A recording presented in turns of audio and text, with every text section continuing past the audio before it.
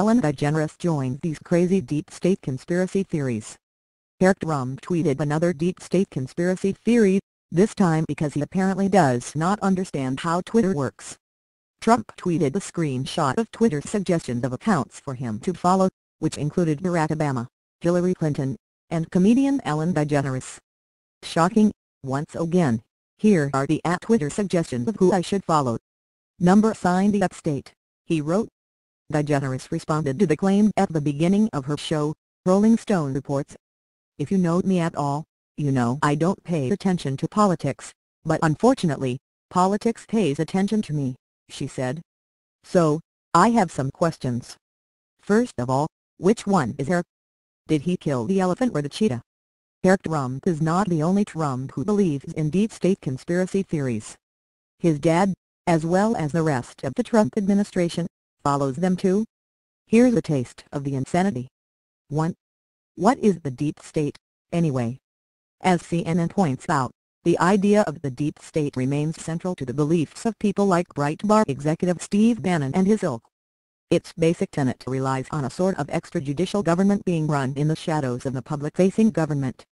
In other words, the deep state that sets maintaining the status quo as its primary objective. The deep state does not fall in line with either party. It represents more of an agreement by the establishment to keep its hold on power for as long as humanly possible. 2. Mueller is actually part of a government conspiracy. Trump first embraced the deep state in a tweet in late November 2017.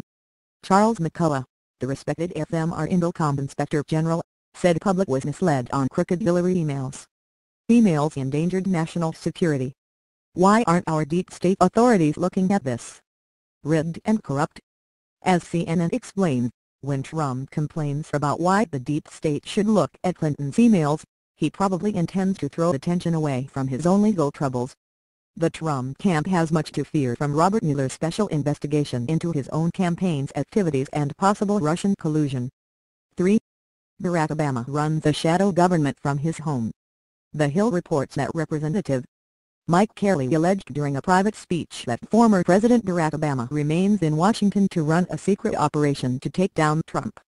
President Obama himself said he was going to stay in Washington until his daughter graduated, Kelly said at a Republican-only event.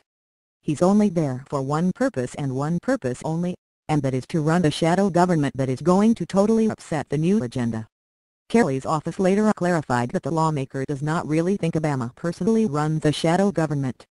Newsweek adds that on Fox and Friends, Ed Klein said that Obama and his aides were setting up what they're calling a shadow government.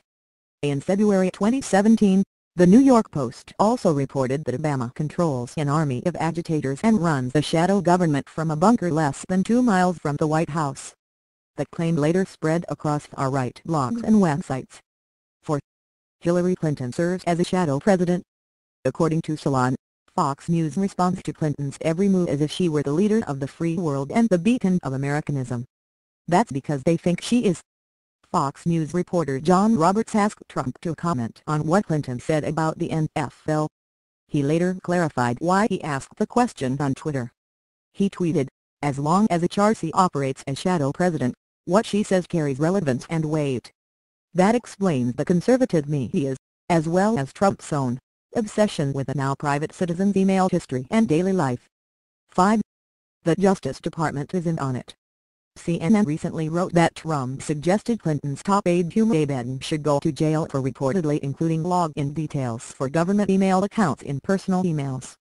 She put classified passwords into the hands of foreign agents. Remembered sailors' pictures on submarines.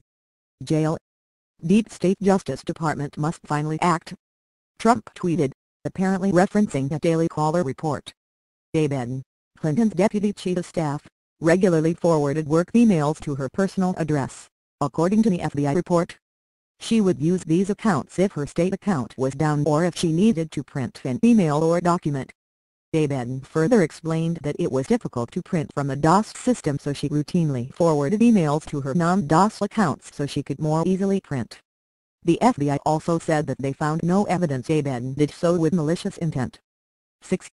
Trump sees leaks as proof the deep state exists. According to Politico, the Republican-led Senate Homeland Security Committee released a report that found the Trump administration experienced national security leaks on a nearly daily basis and at a far higher rate than its predecessors encountered. After the report got picked up in the conservative media, Donald Jr. tweeted a link to it. If there ever was confirmation that the deep state is real, illegal and endangers national security, it's this, he wrote. Recently though, Trump blamed Bannon for everything from leaks to the news media to the upset GOP loss in last month's Senate race in Alabama, The Washington Post reports.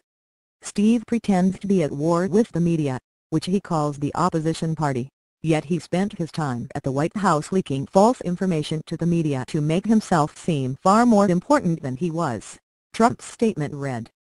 7. Even Newt Gingrich buys into the conspiracy. According to Politico, Trump advisor Newt Gingrich said he spoke with Bannon about the issue. He declared, Of course, the deep state exists. There's a permanent state of massive bureaucracies that do whatever they want and set up deliberately to attack the president. This is what the deep state does, they create a lie, spread a lie, fail to check the light, and then deny that they were behind the light. To break it down, the President of the United States and his advisers believe a secret nonpartisan government exists to control the real government. Sensible people from both parties, and across America, find that laughable. 8. Comedian says she just doesn't have time for it. I just wanna say, I am honored that you think that I'm powerful enough to be part of a government conspiracy, DeGeneres said. I am sorry to disappoint you, I am not part of the deep state. Even if somebody wanted me to be involved, I don't have that kind of time. I've got my day agenda meetings on Mondays. I've got on Wednesday Beyoncé and I host an Illuminati brunch. And then Portia and I on the weekends, are desperately trying to have a baby so I can't.